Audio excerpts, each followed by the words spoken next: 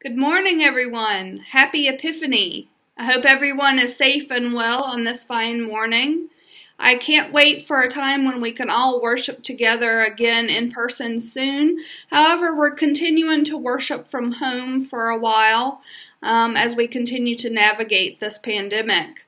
To let you all know, the office will be closed this week due to escalation of the pan- pandemic and the COVID 19, and I will be at home um, please feel free to reach me through text, phone call, messenger, whatever means you need to and want to. You can reach out to me, um, and I will be available.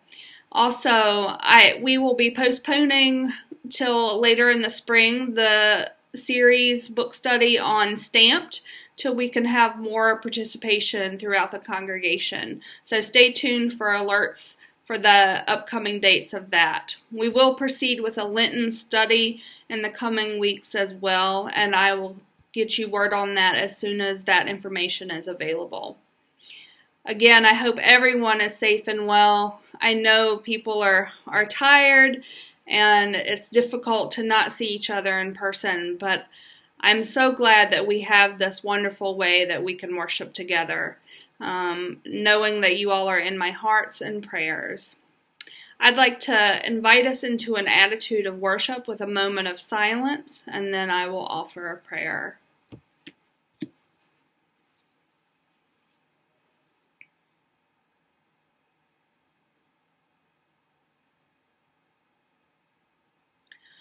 O God, searcher of all our hearts, you have formed us as a people and claimed us for your own. As we come to acknowledge your sovereignty and grace, and to enter anew into covenant with you, reveal any reluctance or falsehood within us.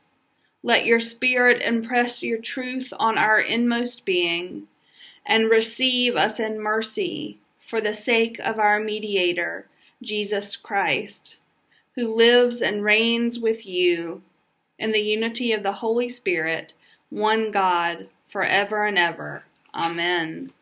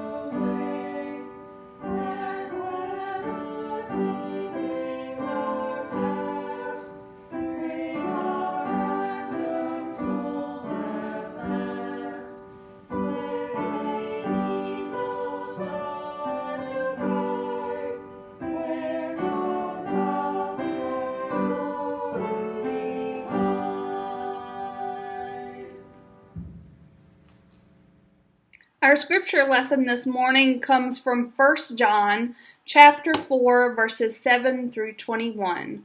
Listen for a word from God.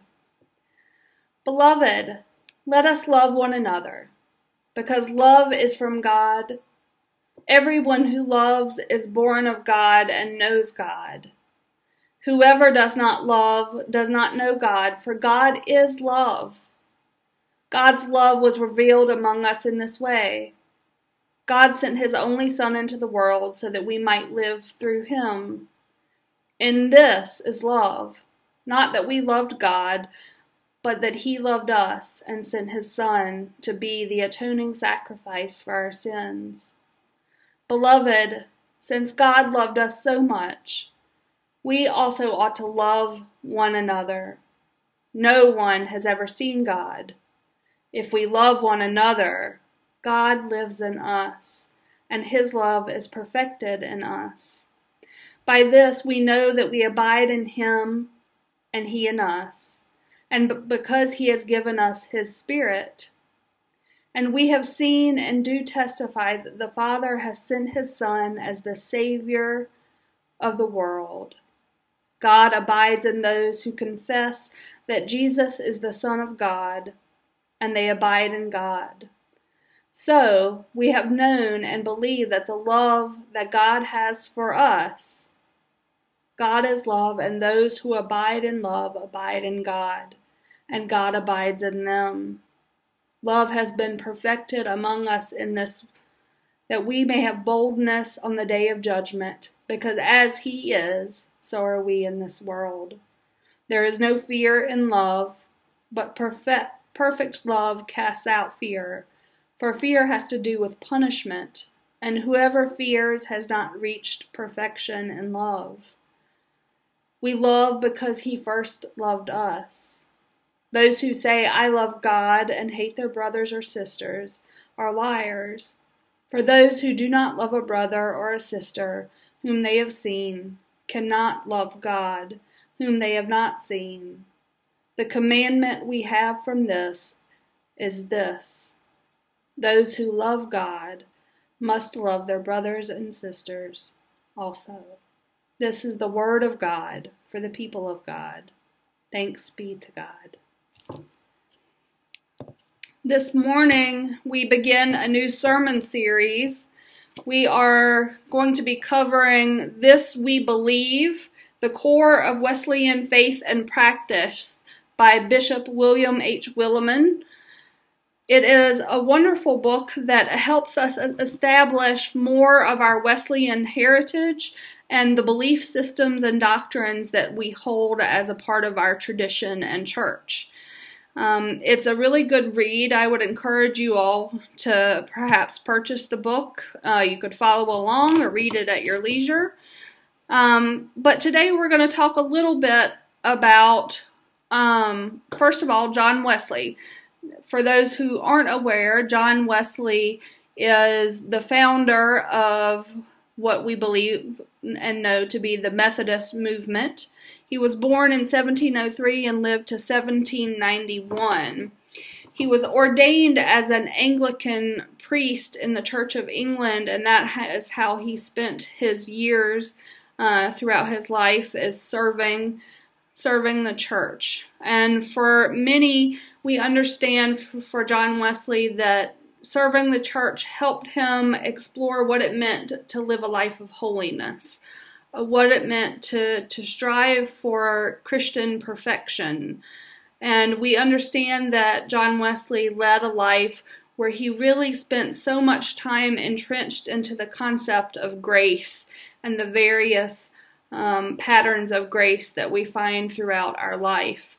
And so, as we explore over the next few weeks these different belief systems that we hold dear in our Wesleyan heritage and in the United Methodist Church, we'll learn a little bit more about John Wesley and how he chose to live his life, but also how we as Methodists come to believe today and how that should shape us as we live out our lives as individuals and our life as a church.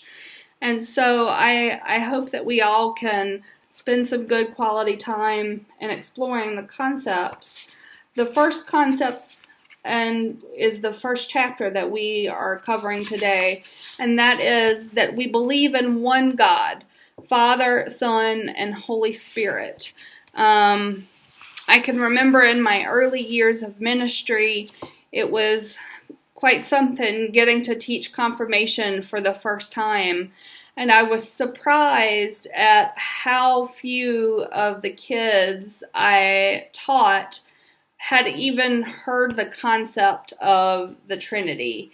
And I think that's something that churches often fail to really discuss or live out their lives embodying because we focus either so much on God or or perhaps some churches focus are more Jesus centric. Um, but the concept of the Trinity somehow gets left behind a little bit.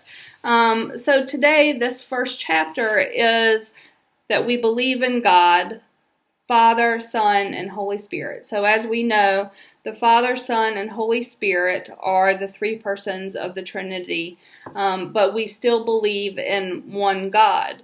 So, we are a monotheistic faith. Believe, faith. We believe in one God, but we believe in three persons of the Trinity. So, it, then people start going, What? What do you mean? They're three. How can that be one? Um, so it's it's complicated, right? This the, these are are a theology that has had people perplexed really from the very beginning. But we, as people of God, understand that God is coming to us in a special and unique way.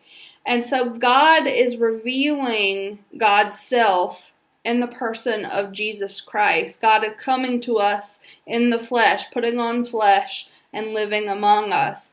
God is is being present with us.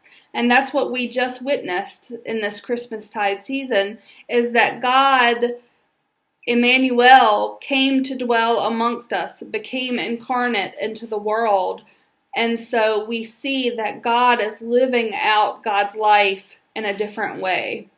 I think when, especially in my early years of ministry, as I would teach people about God, and, and there was always this far removed sense of God was up here, um, and and that God created everything, and the world became to be, and then God kind of just is over there um, where you guys can't see.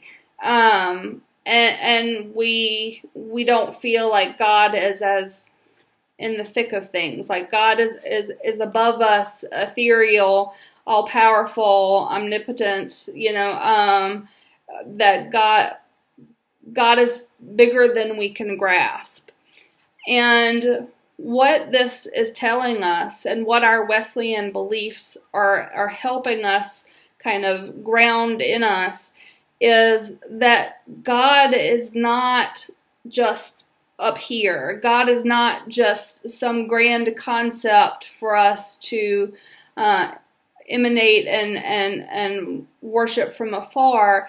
God chose instead to reveal God's self in the three persons of the Trinity.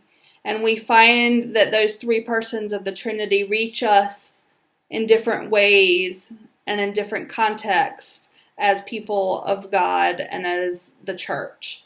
And so I love um, that Bishop Willimon really begins to explore this kind of correlation between God, Christ, Spirit, and for us, how that those can be intrinsically linked. Um, I'm going to read a, a, quotation from Bishop Willimon. He says, In Jesus of Nazareth, God got physical, um, explicit, and peculiar. God came close, too close for comfort for many. Jesus Christ is God in action, God refusing to remain a general idea or high sounding principle. End quote. And again, this this this narrative that Bishop Willimon is setting for us as uh, believers of, of God and, and Christ and as United Methodist is reminding us that God is amongst us. God is very real right now. God is very present right now. God is not um, away from us, but God is in our midst. And how that begins, if we begin taking that into our heads and into our hearts, what that does is help shape us in how we choose to live out our faith.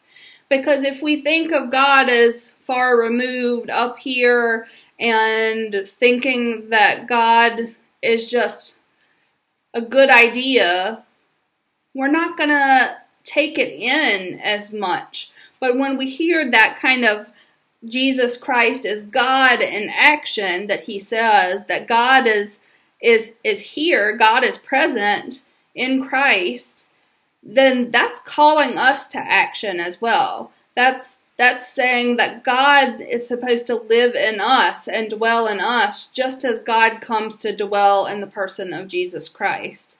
And so if we start believing that as Christians, as United Methodists, how do we choose to go out into the world? How do we choose to live our lives next to our neighbors? How do we uh, want to to explain ourselves um, to the people around us? What image and actions do we have to back up our own faith, our own belief in God and the Trinity and Father, Son, Spirit? So this morning, as we think about that, it's really about how we can understand God with us. And so, um, again, another quote from Bishop Willimon. He has that Wesley didn't just teach some banal platitude like God is love. He taught that God is wonderfully interactive, resourceful, responsive love love that not only acts for us in the cross and resurrection on the vast stage of world history, but also, also graciously acts in us, deep within our souls, activating our own hands and feet in witness and service, so that we adoringly respond to God who so lovingly responded to us. I love that. I I love that he puts it this way. Just like our text from First John this morning, we understand that God is love, right? That that is the clear message that God is love and that that love is made manifest in Christ. And those who choose to have that manifested love live out in their own lives and manifested through them then abide with God because God is abiding with them.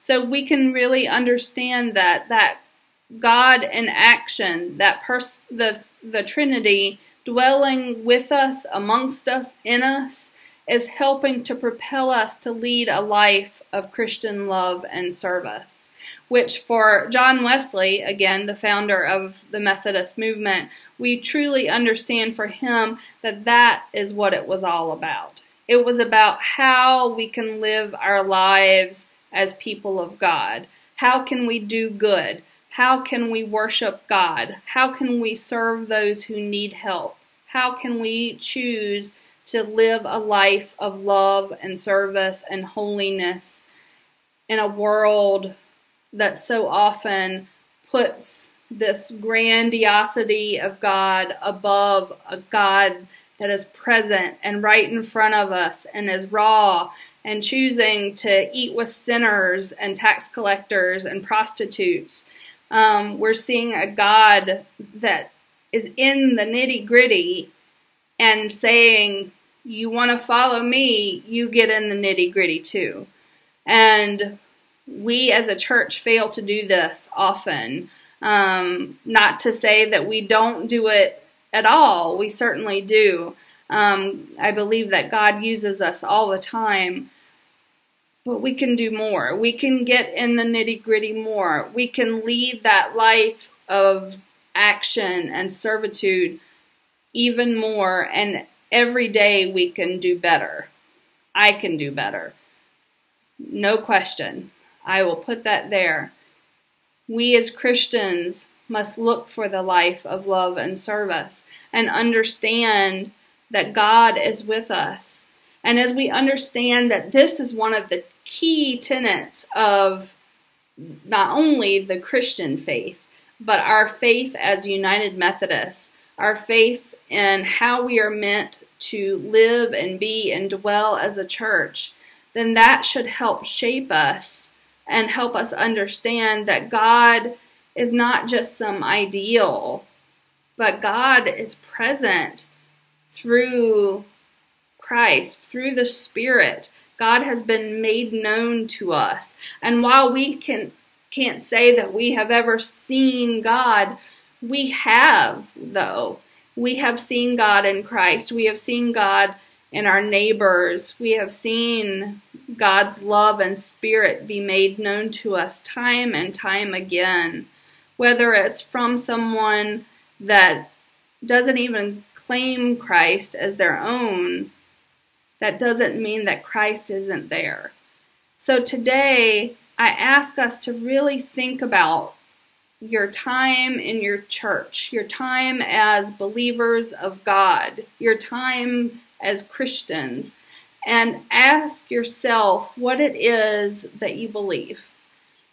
As as a clergy person in the United Methodist Church, we had to spend countless hours undergoing and examining ourselves and trying to remember what it is that we believe and really help kind of deduct our own belief system. And we had to answer all of these doctrinal questions about who is God, who is Christ, who is the Holy Spirit, what is sin, uh, what do you believe about Scripture? Um, all of these kind of fundamental questions.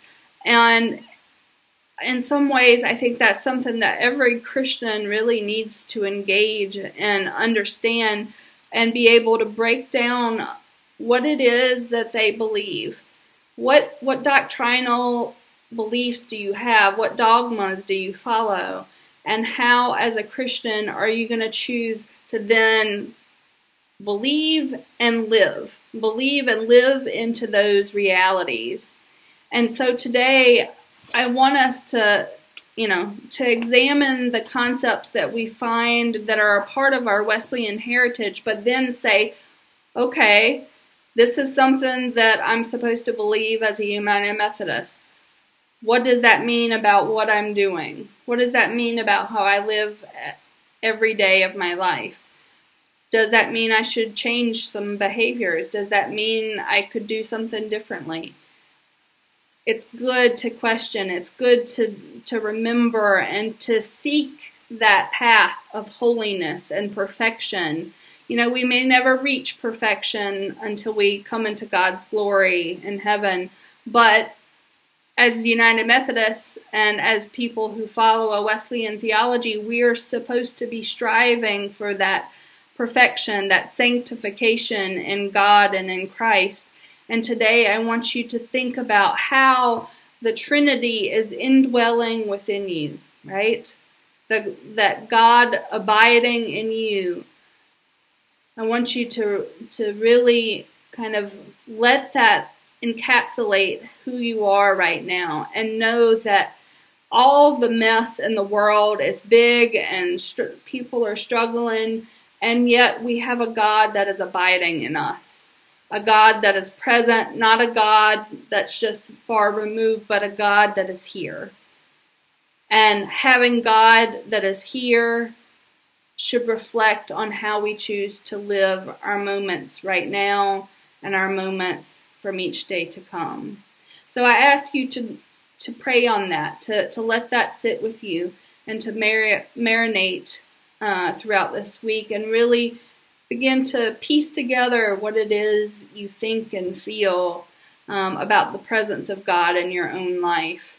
Maybe do some journaling, um, draw a picture, whatever it might be. But I ask you to really kind of hold on to that this week and we'll check again next week about our, our next level to get to.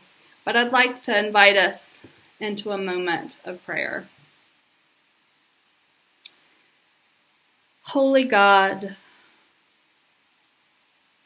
God, you are parent, you are Christ, you are Spirit. You come to us this day knowing that we are struggling. We're struggling with so many realities that are happening and swirling around us. For some, that means illness and sickness within our family or our friends' lives. For some, that means struggling to make ends meet, to put the food on the table, or to provide the necessary resources for our families. For some, it could be an emotional whirlwind, a time where one is feeling low. But our triune God, we worship you and we know that you are in us. We ask that you abide in us and we in you that we celebrate you and remember to turn to you during all of the trials and all of the times that feel so difficult and helpless and exhausting. Be with us in this new year that we may take the time to turn to you, that we may seek you out, that we may live a life that's worthy of your name. We ask this in the name of our triune God. Amen.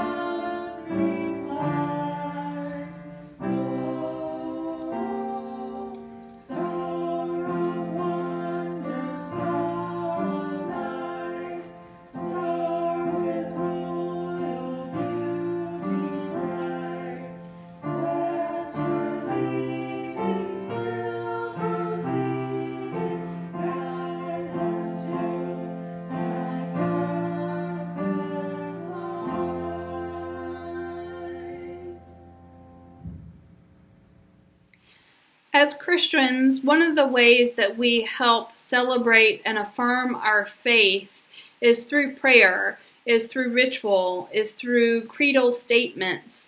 And so today it's a it's a creed we have all probably grown up with in some way or another, but it's not one that's generally read or prayed every Sunday. However, I felt that as we really begin to kind of get down into the basics of our, our faith and what it is we believe as Christians and as United Methodists, that there is no more a greater time to really focus in on the Apostles' Creed um, than right now. So each week, as we read our our book and we celebrate the different belief systems that we have as Christians and United Methodists, we will also focus in on the Apostles' Creed. So I ask you to bow your head. You feel free to uh, pray along with me or to just listen um, and really hear the words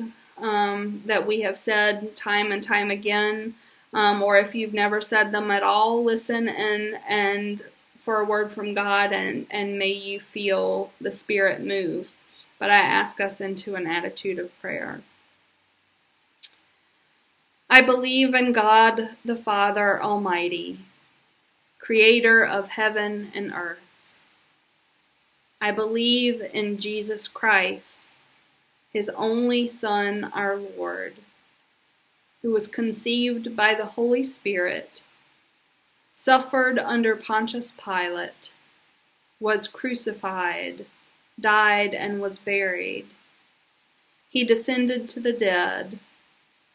On the third day he rose again, and he ascended into heaven and is seated at the right hand of the Father, and will come again to judge the living and the dead.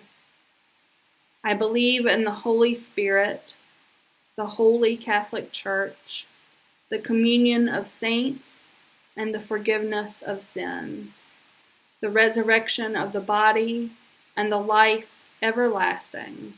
Amen. Now, as children of God, may you go forth into the world to love and to serve, knowing that God abides in you and you abide in God. In the name of the Father, Son, and Holy Spirit. Amen.